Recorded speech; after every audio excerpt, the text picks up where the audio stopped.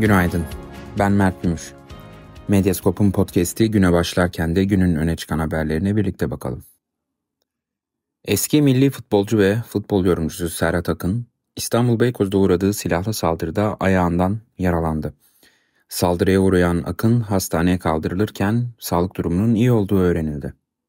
Fenerbahçe Spor Kulübü Akın'a yapılan silahlı saldırıyı sosyal medya hesabından paylaştığı bir mesajda kınadı. Olay yerinde inceleme yapan polis ekipleri saldırgan ya da saldırganları yakalamak için çalışma başlattı. Beykoz Cumhuriyet Başsavcılığı ise saldırıyla ilgili soruşturma başlatıldığını duyurdu. Cumhuriyet Halk Partisi Genel Başkanı Özgür Özel, Sosyalist Enternasyonel Başkanlar Kurulu toplantısı için geldiği New York'ta Türk evini ziyaret etti. Özgür Özel, New York Belediye Başkanı Eric Adams hakkında hazırlanan ve Türkiye yetkililerin de adının geçtiği yolsuzluk soruşturmasına dair bir soruya, Türkiye rüşvet vermeye ihtiyaç duyacak bir ülke değil diye yanıt verdi.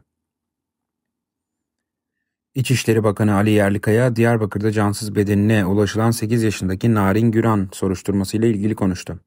Yerlikaya olayın kısa sürede netlik kazanacağını ve bu tür durumların bir daha yaşanmaması için çaba göstereceklerini söyledi. Sayıştay denetim raporları üniversitelerdeki usulsüzlükleri gözler önüne serdi. Rapora göre Anadolu Üniversitesi'nin 10 parsel taşınmazı bedelsiz olarak ve ihale yapılmadan bir vakfa tahsis edildi. Üniversite internetten suya kadar tüm giderleri karşılarken vakıf bu yeri işleterek para kazandı. Afyonkarahisar Sağlık Bilimleri Üniversitesi'nde ise iç denetim birimi kadrosu olmasına rağmen kurulmadı.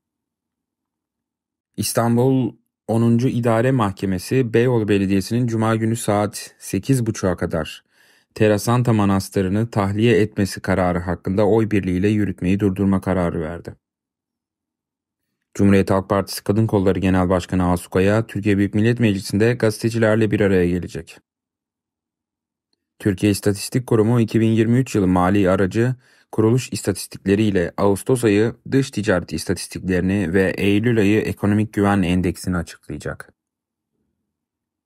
Eğitim Sen 2024 yılı için yapılacak öğretmen atamalarının mülakat sonuçları hakkında basın açıklaması düzenleyecek. İstanbul Büyükşehir Belediye Başkanı Ekrem İmamoğlu, Ankara'da Türkiye Belediyeler Birliği encümen toplantısının ardından ahmak davası ile ilgili soruları yanıtladı. İmamoğlu, yargının siyaseti yöneten insanlar tarafından silah gibi kullanıldığını düşünüyorum dedi. Yol haritasının ne olacağı konusunda ise şahsileşmemesi ve tek başına İmamoğlu meselesi olarak yorumlanmamasını arzu ediyorum. Partimizin de çalışmaları bu yönde diye konuştu. AKP Genel Başkanı ve Cumhurbaşkanı Recep Tayyip Erdoğan Amerika Birleşik Devletleri'ndeki ziyareti sırasında gazetecilerin sorularını yanıtladı. Erdoğan Kasım ayında yapılacak Amerika Birleşik Devletleri seçimlerini değerlendirirken temennim odur ki gelen gideni aratmasın dedi. Erdoğan Amerika'da F-35 konusunu biz yalnız Sayın Donald Trump döneminde yaşamadık. Sonrasında da devam etti. Hepsi de bize bu hayal kırıklığını yaşattı. Cumhuriyetçiler de yaşattı, demokratlar da. Şimdi yeni süreçte bunun sürüp sürmeyeceğini göreceğiz. 1 milyar 450 milyon dolar alacağımız var. Bu öyle böyle bir rakam değil. Şimdi bu alacağımızı tahsil etme noktasından da adımlarımızı atmaya devam edeceğiz, dedi. ABD'nin New York şehrinin belediye başkanı Eric Adams, Türkiye bağlantılı rüşvet iddiaları da dahil olmak üzere 5 federal suçlamayla karşı karşıya. FBI'nin soruşturması Adams'ın Türkiye ilişkilerini ve diğer yolsuzluk iddialarını mercek altına alıyor. Soruşturma ABD'yi sarsarken Adams suçlamalar karşısında istifa etmeyeceğini söyledi. ABD savunma yetkilisi Çin'in en yeni nükleer saldırı denizaltısının Mayıs ayında hizmete girmeden battığını açıkladı. Hindistan'ın Bihar eyaletinde düzenlenen Jivitputrika Festivali'nde nehirlerde banyo yapan 46 kişi çoğu çocuk olmak üzere boğularak hayatını kaybetti.